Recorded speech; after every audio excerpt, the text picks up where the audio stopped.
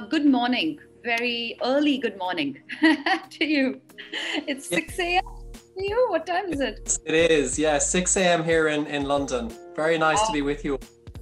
Great. So, welcome, welcome to um, Businessworld's um, event and launch of India's most sustainable companies. Uh, we've already spoken about this, but it's been, uh, you know, it's, it's today's it's the culmination. This event is a culmination of several months, four months of a lot of research. We started speaking with Businessworld six months ago, four months of research on coming on on uh, assessing 200 companies. And thank you so much for being here. Um, you know, you have you are the chief executive uh, officer at Polymateria in the UK. And for those who uh, you know who don't know them yet, they develop the company develops biodegradable and compostable plastics. Uh, and earlier, you were the chief sustainability officer of BT Group, and uh, even before that, you were a pioneer in setting up sustainability at Saatchi and Saatchi and Accenture, one of the early team members of those of the sustainability teams there and it it was it's no surprise to anyone that uh, Business Green, James Murray of Business Green, has called you one of UK's most high profile and influential uh, sustainability executives. Um, um, the Guardian Sustainable Business blog, um, you know, they've named you as one of the top sustainability executives and sources of sustainable news. And uh, even before joining uh, Polymateria uh, in January, uh, you know, the, the um, and you know, you you wanted to be the you wanted the company to be the Tesla of plastics, um, and uh, the and you know the WEF, besides that, the WEF has, which which made a lot of big news, and the WEF has also named you as uh, a young global leader, which is where we met, um, you know, for the first time. And you know, you have guided me now. You've been a friend and a guide for now eight years. So you know, time really flies. Um, so it's a great pleasure for me to be uh, in conversation with you and uh, speak about issues which are close to both your heart and my heart uh, which are, which is linked to the work that we are doing, and also a few questions about you because you, to me, clearly is somebody who's leading with purpose, and which is what we need leaders of large and small organizations to do more. So tell me uh, to start with, you know, how difficult is it? Let's start from the deep end. so how difficult is it to get 7 billion people to move to biodegradable plastics? Um, well, um, I think uh, it's a great question, and um, it's the reason I really wanted to come on and talk with you all this morning. Because um, if you, if I've always thought in any of those roles that you you mentioned before, uh, Miniya, any of those roles that I've done, I've always felt that the best place to test big ideas is in India. So, the world's largest democracy uh, one in 10 people on planet Earth are, are uh, in a village in India. Um, so, if you really want to figure out if your idea is strong enough to scale, if you can take it there and tap in to the innate entrepreneurial spirit of, of the Indian people, which is like no other place on earth, but also I think the real understanding of how to do things bottom up the rest of the world tends to be very process led, very hierarchical. Um, and I know there are some of those things in India, but there is also a real understanding of, of social movements and how to kind of give power back to the people. So, um, you know, I've always liked to think that if you can test an idea and scale it there, and if you're reaching into the villages of India and the various different regions, you know, starting with 1.3 billion people on planet Earth, it's not a bad way to get to the uh, to the other seven billion. okay, um, but you've clearly chosen a, a challenging tasks to bring, even if you're testing it in India. And I clearly see where you're coming from that India, in a way that you can get things done in a way. At the same time, it's a nice uh, pilot to, to kind of expand it to the rest of the world.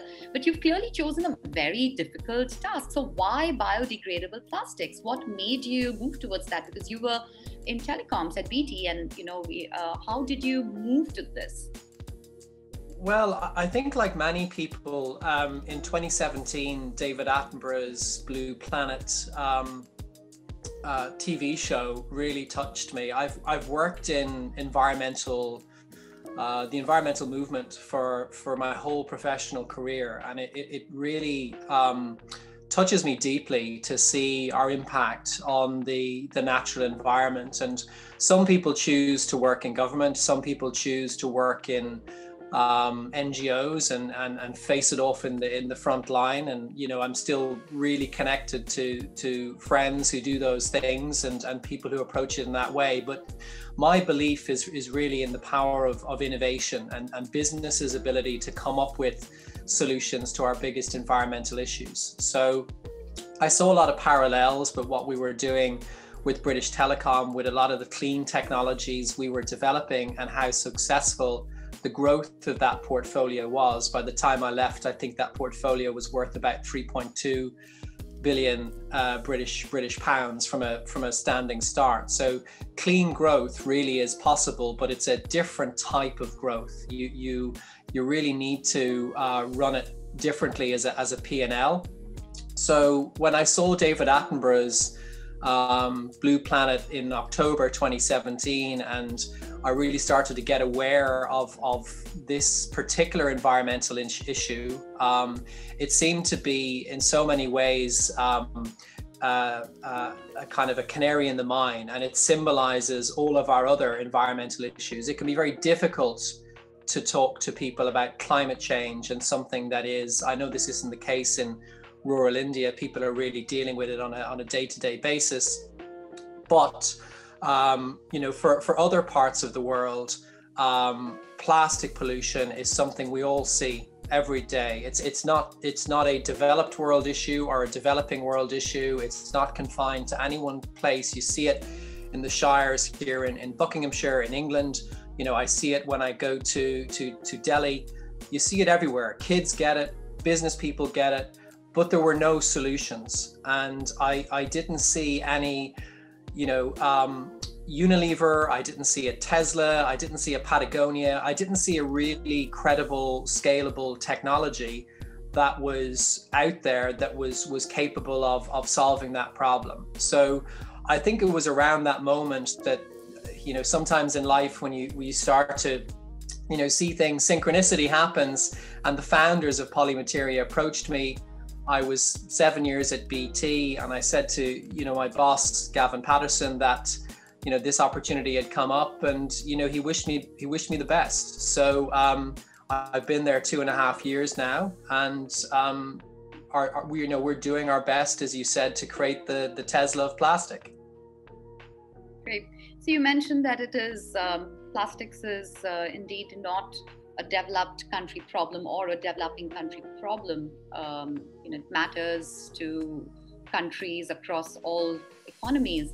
Um, but however, in developing economies, plastics hold um, a special place because of its affordability and its tenacity. So with biodegradable plastics, if you, and you know, I know your uh, Polymateria is working um, closely with the Indian government, Indian corporates, uh, but given how price sensitive the market is, how price sensitive the segment in Indian population which uses plastics is, uh, do you think that biodegradable plastics would stand a chance to be used by the masses in India and also in other developing countries? Yeah. Um, well, look, that's that's why you know I, I believe that if you want to see if, if, if something a big world changing solution solution can scale, you've got to you've got to test it in, in India first. Our price differential tends to be 10 to 15 percent on the cost of the plastic packaging itself. Now, if you compare that with paper, and if you compare that with um, you know other materials um, uh, which can be as expensive as, as 300%, maybe 600% the cost. Um, it's, it's, it's very, very affordable. So the question is really up to big corporates as they're weighing up different choices to have something as affordable as ours and as, and as credible as ours. But just to come back to what you said, the problem with plastic is, is not necessarily its in use um, phase, you know, it, it performs marvelous things for us. And with the COVID virus now, you know, we're seeing more and more how we are reliant on it for uh, PPE, you know, the, the mask that we all wear that's, you know, polypropylene, non woven material. Um, and as you've said, in the developing world, it's it's incredibly important important for food safety and um, you know just just the natural utility of everyday life.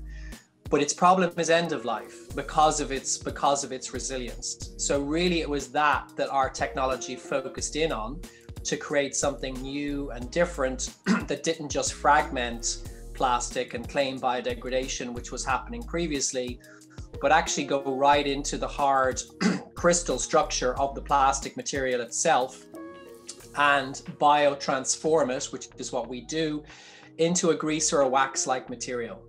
But then make that grease or wax attractive to nature. And we're the only company in the world that can take polyethylene which is you know very very commonly used by you know people in markets and you know all all around india and the rest of the world fully back to nature in 226 days. But what's really exciting is we can time control it. So we can predict the exact month when the technology becomes active and program that in at point of manufacture, working with the specifiers, working with the brands. Now, that allows for all of plastic's usefulness and its utility. It even allows for reuse, but it also can allow for end of life and recycling, if recycling is an option. But then once that time is up, just like anything else, it's perishable and it will fully return to nature without any problems.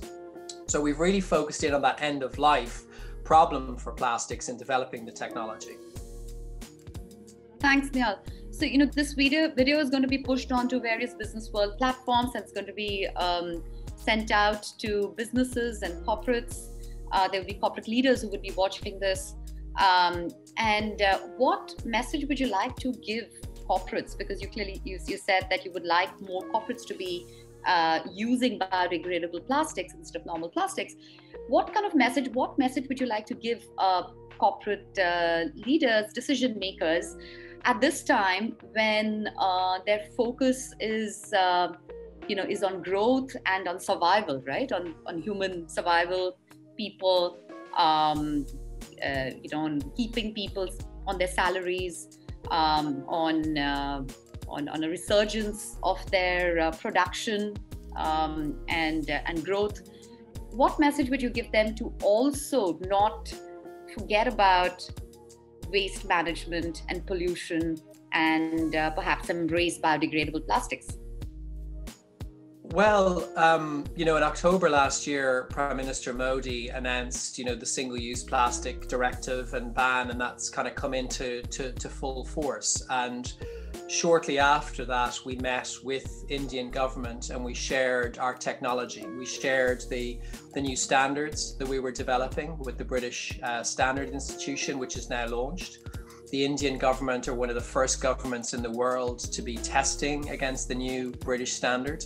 Um, their environmental testing facilities uh, with CIPET in, in Bhubaneswar uh, are, are uh, equipped, fully equipped to, to test against this, this new standard.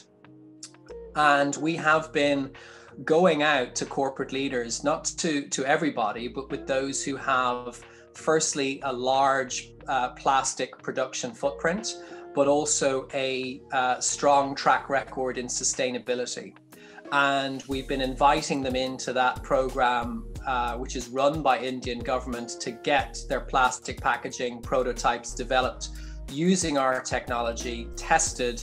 And as long as it passes the new um, british standard it will be allowed to commercialize on the market over there. So it's a, a selective but uh, very exciting program that once that first wave uh, uh, finishes, India will be the first country in the world to have demonstrated this technology end to end, made in India, tested in India, supported um, by Indian entrepreneurs and, and, big businesses, but also with the uh, support of, of the Prime Minister's single use plastic directive, which will allow for this as part of its uh, biodegradability commitment. So, for some businesses, this will be a choice between staying in business um, and and you know maintaining the you know the the existing infrastructure and investments that they have.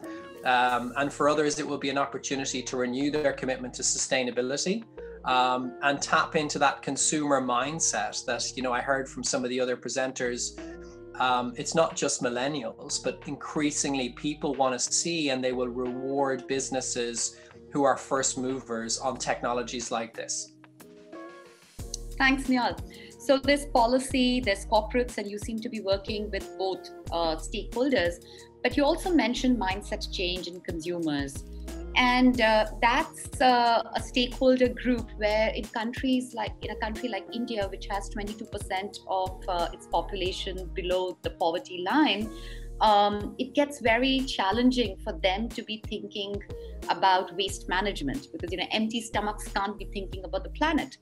So um, you know waste management and plus and and a consciousness towards uh, using plastics must go hand in hand with uh, mindset change within consumers but even you know uh, within the population and also maybe um, um, a social um, you know uh, work on the social side as well. So is there what what are your thoughts on this? Are you purely working on waste management? Are you considering the social aspect of what you do and the change that needs to come in there Look, I think I think it's a great question and it's a it's a great challenge, and it, it kind of brings me back to the first thing I said, which is that um, if if you really want to test your idea and if you really want to solve these big world issues, um, you have to adopt this furthest first mindset. You you have to think about not the next billion uh, people on planet Earth that are you know potentially going to be um,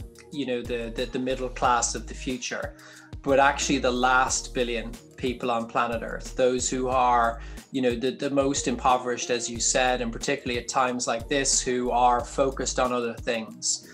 And i think by going out and listening and, and meeting with the community leaders and the people in these villages who are you know connecting with them on a, on a day-to-day basis um, it, it's incredible how much they care and how much they do actually have the ability to, to do the right thing. They'll do it differently than maybe you, you thought. So you have to you have to allow for that, like that, you know, that plastic container or that you know um, bag that you may have put your technology into and created an innovative solution for them.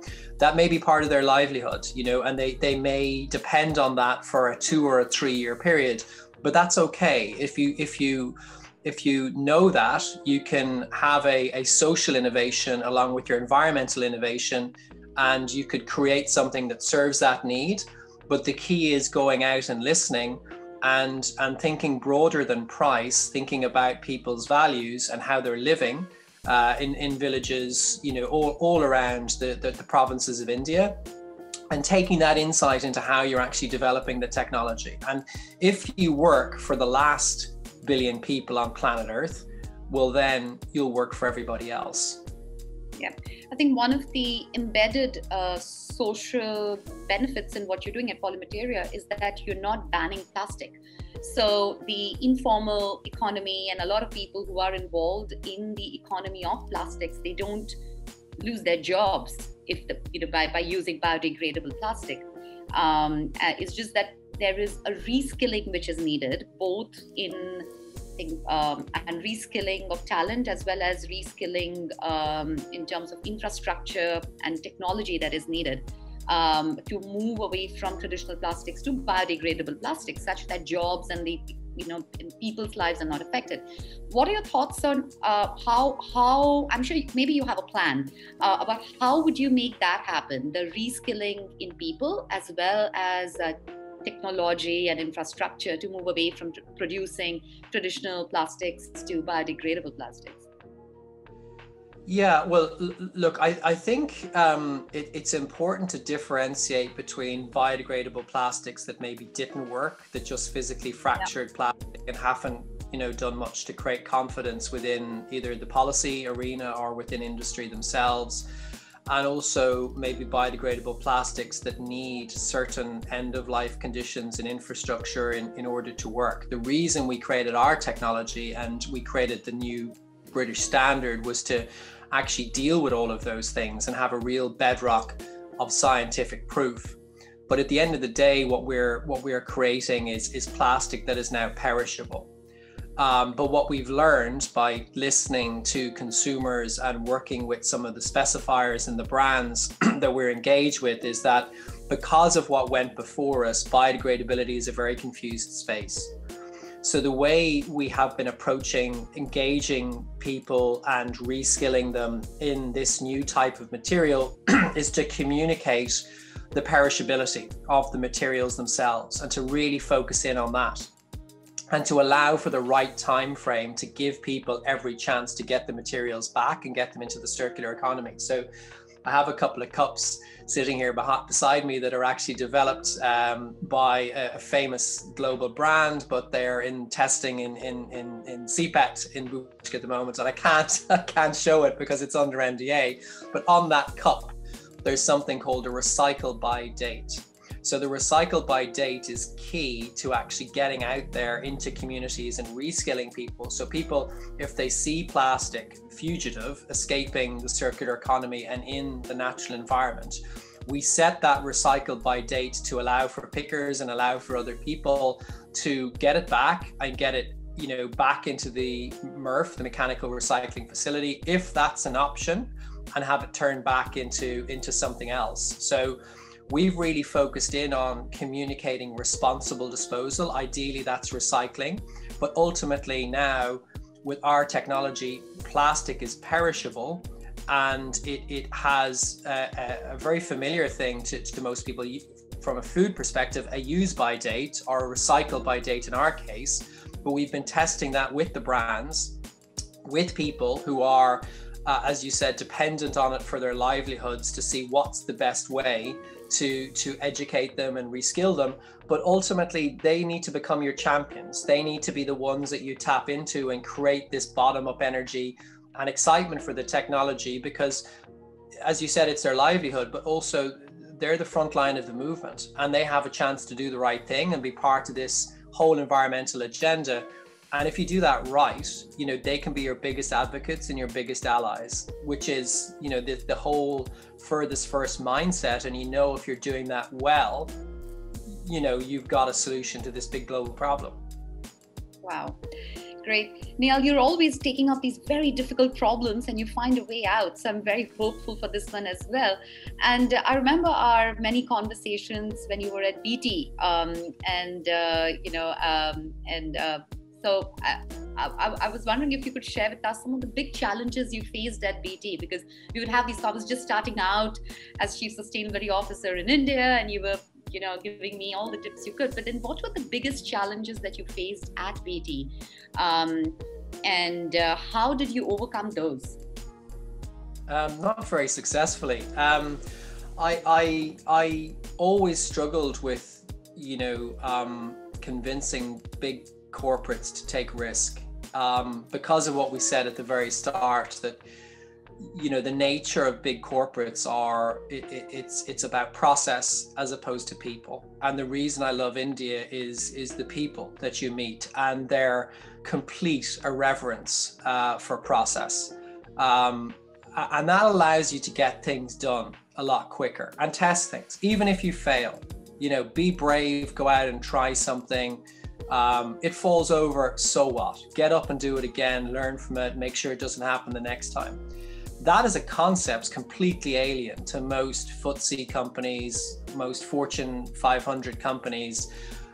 We create entire functions and arm's length divisions between functions in order to stop businesses taking risk. Now, the UN have called for a decade of delivery. Just to zoom out for a second, we got 10 years to get this right, to get wind energy, solar energy, technology like ours, electric vehicles out there, not for the next billion, but for the last billion. They are the people who are going to be most uh, impacted by climate change. That's where the solutions are needed. So everybody needs to adopt this furthest first mindset but that means taking taking a lot of risk and more risk than businesses are used to taking and frankly business as usual is only able to deliver incrementalism. And every corporate leader sitting there listening to me at the moment will be nodding their head saying, yeah, that, that is the case. But that doesn't mean that that, that you, you you have to be a hostage to to that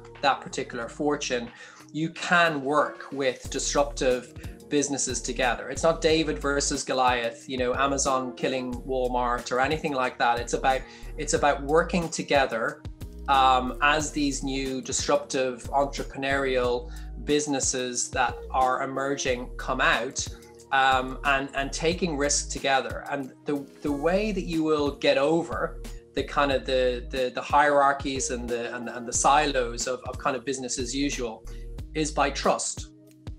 And that's obviously very difficult at this moment in time because you and I, as you said, know each other nearly 10 years. We trust each other implicitly. If you call tomorrow, I'd be there, you know, and, and you know, I, I know I, I kind of I kind of feel the same. So you feel the same. So trust in this in this kind of remote way of working is very hard to create but everything moves at the speed of trust so we you know we have to find a way of of getting over the incrementalism of business as usual. And for me that's why i do what i do now. It's to go into a business that is taking more risk but answer all of the questions the big corporates are going to ask. Because i've been on that side of the fence i know what due diligence looks like and I know what procurement are going to, you know, negotiate on and I know marketing are going to need answers to these questions and I know that, you know, if you just do it top down coming in through the chairman and the CEO but you don't engage working level, you get this not invented here mentality, you get get shut out, you need to engage at all levels of the business. We know all of these things. So we bring that kind of experience into engaging the biggest businesses in the world and help them to get better at taking risk. You know, and some of them will be listening to this thinking, well, that's that's very, very cheeky of him to say, but equally it's it's true. And frankly, we don't have time. We don't have time to be too reverential and, and, and too respectful to process. We need to take more risk. We need to trust each other more. And we need to get out there and build those relationships that will allow this to happen relationships like you and i have you know Niall um, uh, this is this is very precious what you say because um, you, we need more people to be on that bridge right to be able to be speaking knowing how to speak to different stakeholders differently differently and also to know how to collaborate and trust, to be able to, to, to trust, to allow yourself to trust and collaborate. Um, but also, uh, you're leading a team, you're working with people. How do you manage that relationship? Because I struggle with that as well. So you have to have others as well be, be like you Mm. And be as yet, I hope that the world will move to another era where there'll be others who will be on that bridge that you know we, we mentioned earlier in this conclave as well, um, and would know how to collaborate and trust. So, how do you take people along with you towards doing that? You have to show that you are incredibly serious about integrity and whatever the values of your business are. The, the thing about any business, big or small, that puts its head above the parrot and, parapet and says, see that big environmental or social issue over there, we're going to solve it and we're going to innovate to solve it. So we're going to do it through market forces, through capitalism, commercial means. Because you're doing it that way and it's not philanthropic goodwill, um, you're going to have every academic, every NGO, um, uh, every expert on social media and other places challenging you. And they're going to tear you apart if there are any weaknesses. So if you're greenwashing or if your science isn't as strong as you say it is or anything like that, you're going to get exposed in, in this in this day and age. So the only defense that you've got against it is to create a culture of integrity internally. And in BT, we used to talk a lot about speaking truth to power. And I used to hate that because it was like it was an exception, you know, something that would happen once a quarter, once in a blue moon, when the chairman would meet the new graduates and they'd tell him, you know, what they really thought, you know, and this was like a, a coachable, teachable moment. You have to have that be the case every day. And it's your job as a leader to make sure that's not the exception, it's the norm. So the first time your most junior scientist or lab technician stops some big name investor walking into the labs with a cup of coffee because you know drinks clearly aren't allowed in the laboratories you celebrate her you champion her you promote her if you can you talk about it every time which i'm doing now and you make sure that people know that in this business we don't take shortcuts. We take integrity very very seriously but you also need to manage the other side of this coin and this is where it gets difficult. You have to run a consequences culture and you have to be prepared to move people on if they aren't serious about your values they aren't serious about the integrity um, and if you if you if you do that well other people will see um, that that you know it, it, doing the right thing matters in this business and we're not about you know taking shortcuts. If if a third party lab report comes back and it's not passed in our case this new british standards that we don't go well it nearly made it. It nearly made it. So you know that's okay that's good enough. It's it's not. And that can't be me. That that has to come at every level of our business. And possibly the thing i'm proudest about in polymateria is that that is alive and well that everybody in our business knows that doing the right thing is something we take incredibly seriously. Yeah thank you um, and you know i call it the 99 and 1% so 99% you have to be you know always motivating and and uh, you know um, get the right practices best practices applauded. But at the same time that 1% of the one time that 1% time you need to showcase the consequence. And that's it. If you just do that once just well you don't need to do that more. So uh, but thank you Niall. Um, you've also uh, set up uh, you know, while you were at Accenture, you set up, uh, you were part of the team that set up the sustainability practice, which now our dear friend Peter Lacy and, and others, you know, they're they're they're, they're leading it. Um, and there, um, what advice would you give uh, companies in India? And clearly, there are so many. There are actually the majority of companies would need to set up their sustainability practice. So these would be business as usual companies, um, which are doing well, which have the intent uh, but then they would need to set uh, set up their sustainability practice institutionally within the company. What what advice would you give them? Yeah. Well, look, there's a spectrum of um, ways that businesses commit to sustainability. And when I first started going to India and working with, you know, our own, um, um, you know, people there, um, what was happening at the time, and this is this is going back a couple of years ago, businesses in India were just starting to give two percent of uh, pre-tax profits to foundations and to CSR type activities, and you know that's a good start, but it's it's peripheral to business as usual. And when you see what the real leaders are doing, like Unilever and Nike and others, they're aligning it to the product engine and the innovation function and also to the brand. Um, and getting all of those things right, where your chief sustainability officer, if that's what you call it, um, has that ability to bring a lot of these you know environmental and social choices frankly into product design and they're able to intelligently make those trade-offs and then make sure that that translates into advocacy and and how the world around them perceives the business. These are incredibly diff- difficult things to get right but if you have a, um, a csr function sitting off to the side that doesn't have the mandate to drive the product innovation engine and the p&l forward um, you're only ever going to have a kind of a bulletproof jacket around the business, something to kind of point to if Greenpeace or somebody else shows up and says, you know, your track record in the environment is deplorable. You say, well, look, we've got this, we've got this nice report. And you know, last year we reduced carbon by two percent in our call centers or something like that. That's not what this is about. This is about bringing it into the beating, innovative heart of the business and and spotting the opportunities to get ahead of the curve on these big nexus issues because this is happening. It's the future. There's no there's we, we're either going to create businesses that solve these problems or create businesses that create them. And the ones that create them we won't talk about them in 50 years time. They, they won't exist. We, we will be celebrating the teslas the patagonias the polymaterias. That's what will will be at the top of the the FTSE and, and other other indexes in in a couple of decades time. But that means you need to get it into the innovation function and you need to align it with the brand. But critically when i say alignment with the brand people think well this is somehow about uh, you know getting more credit than you deserve. It's actually about listening. And all great marketing and branding actually starts with building networks with the most important stakeholders in the world around you. So if you if you care about a particular social or environmental issue, go out and meet the community leaders, meet the NGOs, listen to them, listen to what they're saying about your product or your service, and bring that into how you're innovating. Co create the problems together with them. You don't have to do much more than that. If they see that, that you, you are taking their concerns seriously and innovating and solving their problems, they'll be your most powerful advocates. And, and they will champion you and create a ripple effect around your brand. and that, that's the key to advocacy is listening.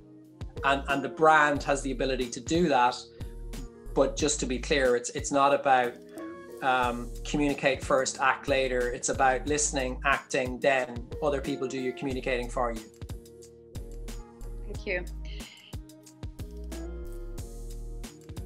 Ah, for a minute I thought you were frozen. Um, so, um, uh, you know, you, Niall, you're clearly championing uh, a very important uh, technology. Um, and as you said, you know, R&D is very important at your company, and it, uh, the, you know, the the the the research which goes into creating the kind of biodegradable plastics at Polymateria is different from uh, a lot of maybe the other biodegradable plastics that are available.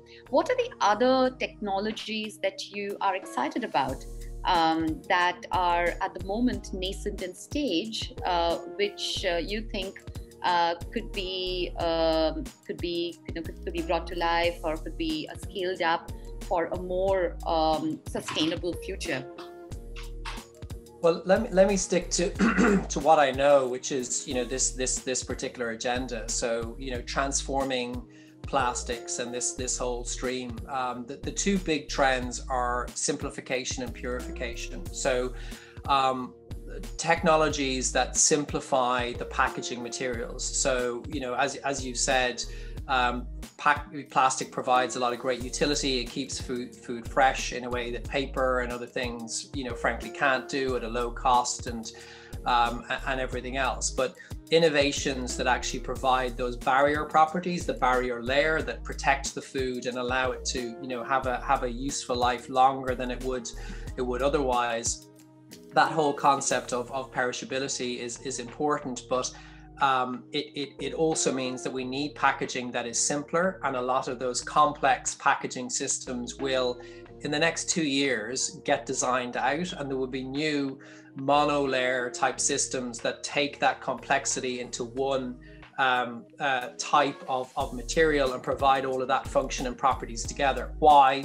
Because the circular economy needs it. We can't have complexity within the circular economy. For the whole thing to spin and work, it needs to get much simpler. So there's there's technologies out there that are providing solutions for packaging and, and simplifying them. And then the other thing is purification. So another big trend to watch as, as, as investors or as potential corporate sponsors is anything that is purifying the toxic nature of the materials themselves. So uh, people don't know this, but uh, you, you, know, polyolefins, which are the most fugitive, therefore most you know littered plastic on on Earth, are a very pure material, which is why we have focused there first. It's where the problem is biggest, but it's actually easy to get them back to nature if you have a technology like ours without harming the natural environment in any way. That's not the case with polystyrene. It's not the case with PVC. It's not the case with anything that has a lot of toxic materials inside it. So another big trend is anything that's purifying the stream and creating purer packaging materials that work just as well when it has to return to the biological cycle, because everything has to go back to nature sooner or later anyway, as they do in the technical cycle. So, you know, in both of those areas, without, you know, naming names, there's lots of technologies that are helping to purify and simplify the, the, the packaging materials themselves. And I think another very, you know, exciting area is home composting. So, um, one of the limitations with compostable plastics has been the reliance on industrial composting to provide the end of life infrastructure for those particular materials to biodegrade. Um, and the conditions those uh, composters need to be run at in order for the materials to have any chance. But the democratization of composting, coming back to this whole concept of, of, of furthest first, this is co-ops and, and villagers and people that have, you know, that they're they're you know working in, in you know the agricultural sector, but having an ability to compost locally on site and combine green waste together with packaging and you know return that to organic material and use that uh, as nutrients on you know next year's crop that's a really exciting um, development. And there are some technologies there like pha and phb that at the moment are are you know very expensive.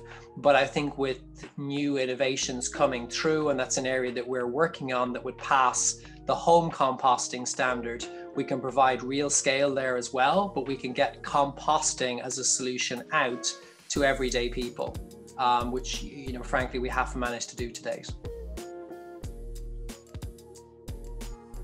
I think you're on mute nina.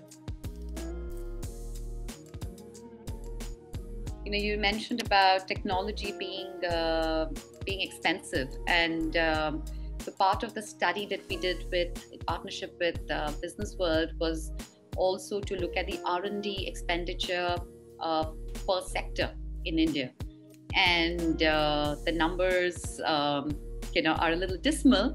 Um, so for example um, fmcg uh, the sector it spends uh, 0.39% on an average the fmcg companies they spend 0.39% of their revenue on r&d um, the auto, the agricultural industry sector is okay it's 4.75 but then the others are you know like oil and gas is 0.36 infrastructure is a 0.12 so uh, clearly i think um, you know that's uh, there has to be a policy as well as a market driven um, uh, push towards more r&d and uh, better technology um, I also have a few questions um, from the audience. So there's um, Harish who's asking that there is always a myth about biodegradability. Uh, we don't know if this breaks down to CO2 and H2O or else to microplastics. I think this is something that you can refer to as well. Maybe you want to do yeah. that, which is even worse than the landfill polluting. Uh, so, uh, how do we feel? So, maybe you want to address that, and uh, also, how do we feel about home and industrial composting based on Unade? Yeah. So Harish, you're, you're dead right. So there were technologies previously, well, called a range of things, but oxo-degradable, oxo-biodegradable, photodegradable technologies. And what they all had a single reliance on was oxygenation. So this is the process of oxygen attaching itself to a branch in the polymer chain, but creating a fracture and a weakness. So, you know, you and I could then break the plastic, but all we're doing, as you rightly said, is taking plastic and, and making microplastic the cornerstone of our IP is knowing how to actually go into the hard crystalline structure and use a combination of the natural agents of decay to attack and destroy the crystallinity. If you don't destroy the crystallinity of plastic, you're creating microplastic. So that's like the corner of our innovation. Now, what that looks like to, to, to you or I is a, a grease or a wax like material being created incredibly quickly but that's also not enough. You have to make the grease or the wax attractive to nature. So the second thing we do is we add a prebiotic aspect, which then makes that the microbes and the fungi and the bacteria consume it. And then what you should create and what you can only create is carbon dioxide, water, and biomass, the same as you would have had done previously with the with the composting standards. But because there's been so much false promises and, and false claims in this space, we created a standard to show the difference between somebody who's you know uh, making one claim but just creating microplastic or somebody who's creating a wax and somebody who's able to show in real world environmental conditions that that wax fully goes on and biodegrades nothing left no microplastic no nanoplastic just carbon dioxide water and biomass and those pass fail criteria are now in the British standard and are being tested by the government of India with some of the biggest plastic manufacturers in the country. And some are passing and some are failing. So, you know, you're right, you know, it has been like the Wild West previously. And, you know, coming back to uh, Miniya's point on, on innovation, none of these companies were investing in innovation. they were just you know, doing very, very basic stuff like adding salt to plastic and claiming it was biodegrading. But the world has caught up with them, you know, and now it's time for better innovation. But the devil's in the detail. And that's why we need standards that will govern the rigor of the scientific claims. And that needs to be supported by government and, and by industry. Um, but it's, it's a very good question.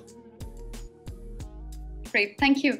There's also a question from Dr. Achintya Sen, who's asking that um, what message do you want to give to plastics packaging specifier and plastics converter to companies to mitigate the pollution created by plastics after end of life? Well, um, I mean, t- talk to talk to the governments, talk to CIPET, talk to the CPCB, um, identify w- one of your um, uh, packaging applications that have, um, you know, you think is a good candidate for, for biodegradability and, you know, work with your, your converters, your packaging converters, create a prototype and get it into the, the next wave of testing uh, at CIPET in, in, in Bhubaneswar. Um, and, uh, you know, I, I think having that um, movement of businesses and brands who have you know developed this new type of packaging and have it tested and passed against this new standard proving not partial biodegradation and fragmentation but full biodegradation and have governments backing in doing that you know we can really create a movement for change. Thank you Niall, um, you know, I've known you for a while and you always take on very difficult challenges. and we've spoken about some of these challenges. So I want to, you know, have a few questions about you as a person, uh, because of, you know we, we've seen this even across the top ten sustainable companies um, uh, in India that it's leadership driven. At the end, it's the CEOs, at least in India, uh, you know, it's not yet embedded in the system, but it is the leaders, the CEOs, the owners, the promoters who are driving responsibility uh, within the company.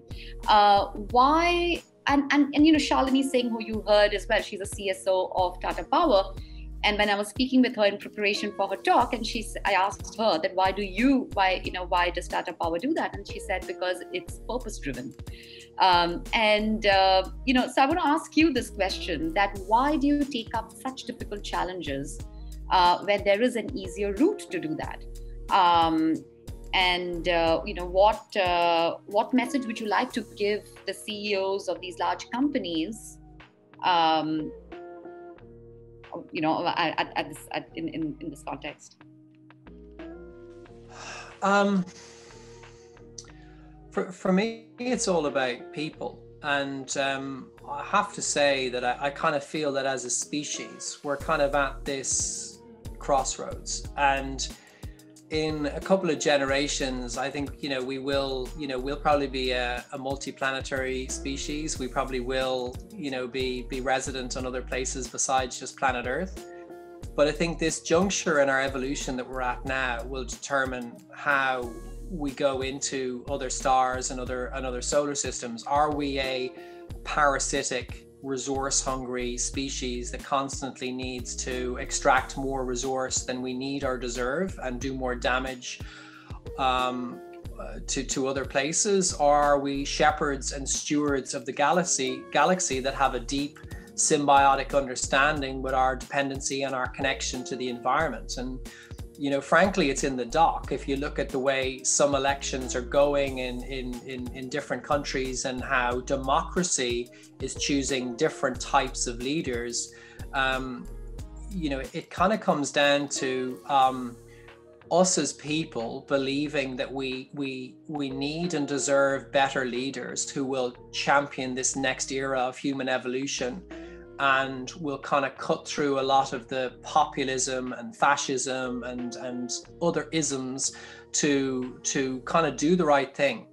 Um, and i get a lot of energy from you know getting out there and, and meeting people you know frankly like you and our other friends and and colleagues. And um, it's one of the hardest things about this lockdown scenario is i would have in the last 10 months probably have been to india three maybe four times at this stage and, and in each and every one of those trips that I've gone out and met people you know working in in communities and and working in the front line. And i take huge energy from that and i get great ideas.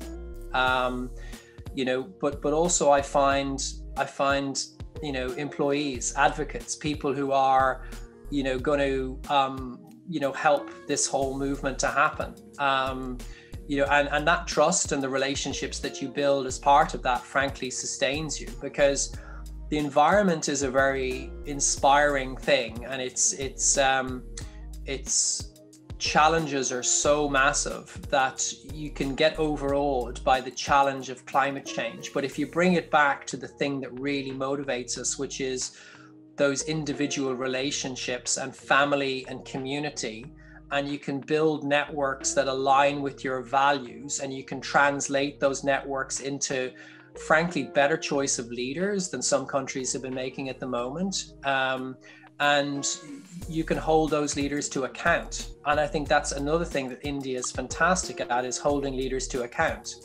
Um, and calling it out you know if, if if people aren't doing the right thing. And we're not seeing that in enough other countries. So um, i get a lot of energy out of my belief in humanity that i believe we will evolve to be a more intelligent steward like shepherd like species. And you know spirituality is important in that. Faith is important in that. But you know my faith is is in people. It's in humanity and our ability to do the right thing. Um you know and, and you can't just surround yourself with people who are like you you know i don't think it's i don't think it's enough to kind of point at the other side. Climate deniers or you know in in, in our case uh, you know people who just live and run the business for the next quarter and don't care about anything else. And and their idea of innovation is is cost innovation and cost transformation. Um, you've got to engage that. And i think your success and our success as a species hinges on being able to find the middle ground and finding a way we can all move forward together so I'm obsessed about that. I get an awful lot of energy out of it. I, I, it does take a big toll on you. And the way I kind of cope with that is I get out in nature a lot. You know, I go out and I run and cycle and surf and mountain bike and do things that just give back to me and give me energy. Um, you know, but everybody has their purpose. And I think if you can find a platform where the the purpose of the organization aligns with your individual purpose, you can do incredible things. And I think it's on each of us to try and achieve that congruence and achieve that alignment. Thank you, Niall. We'll we have another question, uh, more on the on plastics. Um, yeah. Um, Harish is asking that how would be biodegradable plastics work on laminates for barrier for barriers? Um, it, it doesn't. Okay, it doesn't. It, it doesn't. So so laminates and barriers at the moment. So um, metallized BOPP um, is a is a problem. It's a problem both for recycling and for biodegradability. But we have programs, and I know there are other.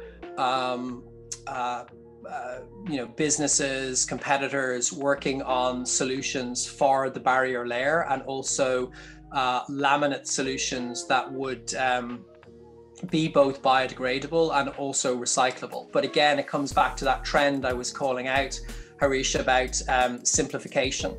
And there's a lot of work going on in the big FMCGs, the big rate retailers, the biggest packaging converters to create simpler packaging that can be both recyclable and also biodegradable. And we're plugged into a lot of those innovation programs and working on uh, on solutions. Thanks. Well, one concluding question. We're uh, nearing the end of this uh, wonderful talk. Um, what is more important to you, Niall? Is it uh, bringing about change, or is it more issue based? Because you've moved across different uh, industries and you're always so passionate. And there's something that I wondered that what makes you do this? Is it more, you know, making the world a better place, or is it specific issues that at different points of time that you take on? Um, I think I think it, it's it's time based. So um, you know the overarching thing is is somebody said to me once when I was you know an athlete and before I was a a runner I was um, a rugby player and and it was actually a coach who said to me you know whatever you do make sure you leave the place. And he actually said the sport. He said leave the sport better off than than when you started it you know. So when i used to run i used to take great pride in you know training hard and you know trying to find ways that you know you could achieve you know performance improvement but what really motivated me was inspiring others and and having that you know, seeing that you were a source of inspiration for other kids that come from backgrounds like you and they were maybe believing in their own abilities uh, a little a little bit more. Um, but then I took that into Accenture and when I was looking for a, a job and wanted to um, you know basically make some money for a change as opposed to lose money as an athlete um, the whole concept of change really spoke to me. But as you know, um, Mahatma Gandhi says, you know, all change starts from within, and you've got to be willing to change yourself first before you can start to change the world around you. And I think if you do a good job changing yourself mm-hmm. and you do a, a, good job changing your immediate community, maybe that's your family, maybe that's uh, your business, um, you find that you get invited to change bigger and bigger things. Um, and you realize also that your skills become relevant to some of these to some of these big issues. So a lot of what we were doing on clean technology with bt is now relevant to plastic pollution. Um, but I, I feel that i've arrived there you know through a continuum of um, you know wanting to really change myself first to to learn about these things to you know um, understand what works and what doesn't what's the right thing what's the wrong thing um, and then apply those those lessons. And then that you know that that just kind of leads you through chance and destiny through to to the next thing. Um, I think as long as you're alive to those opportunities something else always always shows up. So I've never planned it I've never sat down and said you know here's where I want to be in five or ten years I have no idea uh, where I'm going to be in five or ten years. But I do think that this particular issue needs a Tesla. It needs a you know a Tesla of plastic, and at Polymateria, you know we're we're you know doing a pretty good job of creating one. So um, uh, you know if we can point to more Patagonias, more Unilevers, more you know uh, businesses like that, um, you know I think people like me can retire happy well, one final, final question. Um, you, we have been talking about leading with purpose, but you, you, you spoke about something very important, which is people, they, them leading, them, them living also with purpose. And in a country like India, Niall, um, it becomes a little difficult to do that because there's very little social security which is provided by the state. Um, and so uh, you have to fend for yourself. If you lose your job, you know there's no uh, bread coming into the family uh, what message would you like to give people uh, forget the ceos you know the executives what would what message would you like to give the young people in india that how can they uh, attempt to live and, and to follow their passion follow their purpose to identify their purpose and follow that purpose given given the situation that the socio-economic situation they're living in. Um, I, I don't know if I, I'm not the right person to give kids in India any kind of advice because every kid in India I've ever met has blown me away with their entrepreneurialism and their you know their optimism and their faith and energy in, in frankly a way that is so refreshing. And particularly with this this current situation there's so much you know victimhood and and, and people who are you know um, uh, blaming others but you know the, the the the people that I've met and I've met so many people in in, in India over you know the, the 10 years 12 years now that I've been kind of going to the country they've taught me.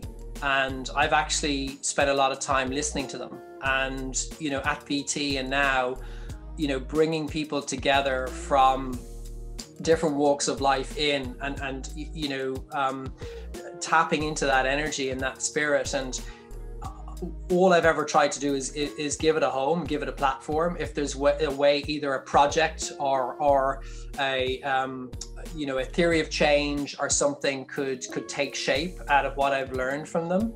Um, all, all I've ever tried to do is harness their energy. So I, I don't think you know any anything I've got to if I say one thing it's keep going believe in yourself the change I've seen in India in 10 years going there from where it was to you know where it is now and you know I also see the disparity I see you know the, the, the problems but you know it's a India's getting it right more than it's getting it wrong. And over the last 10 years, the progress has been, you know, astounding. And that's been people led. That's been the entrepreneurial spirit and the belief the Indian people have in themselves and their communities.